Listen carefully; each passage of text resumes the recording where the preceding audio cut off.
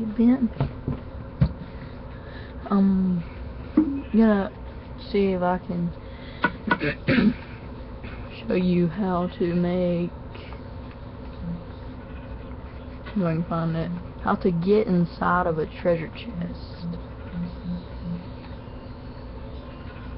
So you need rails, or not a ladder, rails, a minecart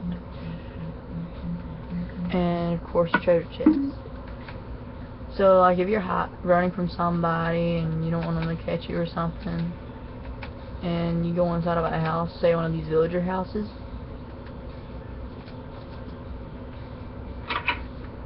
ignore that, and you want to hide, you'll have this hidden the treasure chest here, and they will never notice.